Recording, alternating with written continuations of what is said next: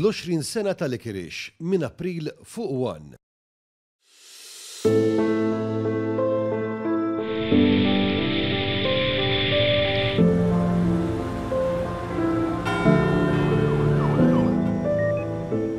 Chanel Kurmi tilfet lil binha fl-età ta' tmien snin fl-20 ta' Diċembru tal-2021. Żmien il-Milied li iżda ma kien xejn festiv għall-familja kif ma kienu xejn ċelebrattivi għalihom it-tliet snin ta' qabel. Meta kellu biss ħames snin iċ-ċkejken Jake laqtitu forma rari ta' lukimja akuta li ftit kien magħruf dwarha. Dan anke fl-Ingilterra fejn ħtieġlu jitla' l-kura fit-tul hemm ukoll qatt ma kienu għadhom raw każi simili fuq it-tfal. L-iżgħar mit-tliet ulied tal-koppja Curmi, Jake kien instab li qed ibati minn din il-marda kiefra li baqgħet miegħu sakemm tilef il-battalja kważi tliet snin wara. Perjodu li fil-maġġoranza qatgħuh f'Londra għall-kura, akkumpanjat minn ommu mifrud mill-bqija tal-familja waqt li missieru kien kostret jibqa' jfendi f'Malta jindokra wkoll li żewġ ulied l-oħra Fil-bidu ta' trawma fl-2019, ġurnata qabel eluq sninu, kien rakomandat li Jake jitla Londra fejn kien se jibda jieħu l-kura fl-Isptar Royal Marsden.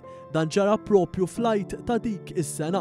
Il-familja waqt li kienet konxja tal-gravità tal-każ sabet mill-ewwel l-għajnuna ta' Puttinu Kers, laqda volontarja li la taħdem ma' tant familji u pazjenti żgħar li jeħtiġilhom kura, partikolarment kontra l-kanċer. Dan kif irrakkontat minn Janelle innifisha ma' one News. U kienu meta offrewna l-appartament mill-bidu ġifieri huma ġew fuqna.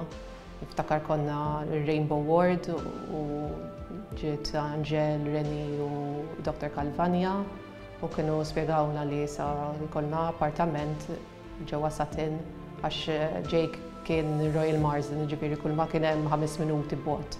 Sibna appartament lest biex nidħlu ġo fih, jiġifieri ma kellna bżonn xejn iżjed.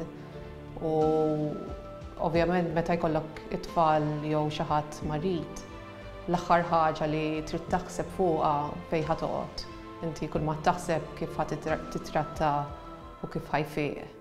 Janelle u Jake għamlu l-ewwel sena sħiħa f'Londra deħlin u ħerġin mill-isptar fejn iċ-ċkejken ukoll sarlu trapjant tal-mudullun grazzi għad donazzjoni minn għand ħuh li kien erba' snin akbar minnu. Peress li trattament kien se jieħu iżjed fit-tul, ġi suġġerit lilhom li jkunu aħjar jekk jinżlu Malta u jqatgħu ftit ġimgħat mal-familja.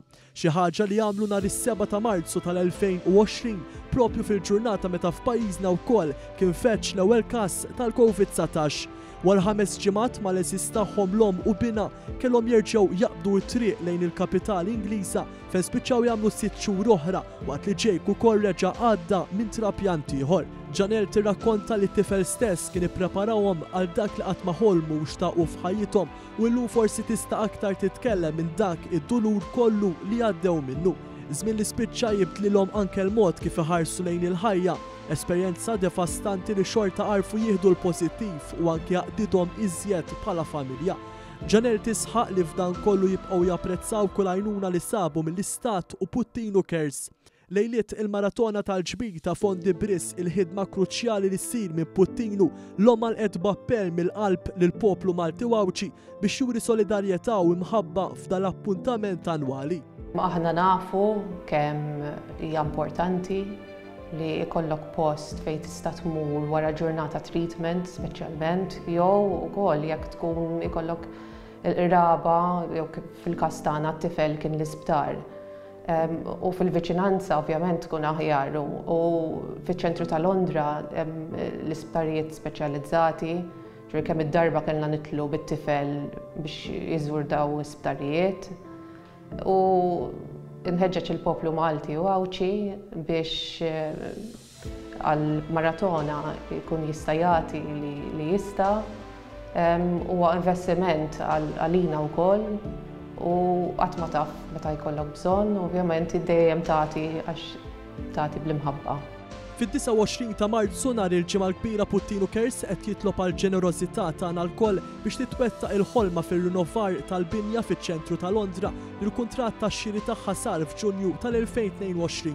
Bħalissa għaddejjin ix-xogħlijiet biex jiġu żviluppati 27 appartament bi spiża ta' madwar 25 miljun ewro. Għal dan il-proġett, il-Prim Ministru Robert Abela wkoll kien ħabbar erba' snin ilu li l-Gvern alloka s-somma ta' 5 miljun ewro mill-Fond għall-Iżvilupp Soċjali. Minbarra hekk intlaħaq ftehim għal perjodu ta' ħmistax-il sena biex il-Gvern iħallas 170,000 lira sterlina għall-użu tal-appartamenti li se jkollha din il-binja l-ġdida li mistennija titlesta lejn l-aħħar ta' din is-sena u 80,000 lira sterlina oħra għall-appartamenti f'Satin. Ma' dan il-Gvern qabel li jgħaddi grant ta' 150,000 euro fis-sena li tiżdied b'għaxra fil-mija kull ħames snin.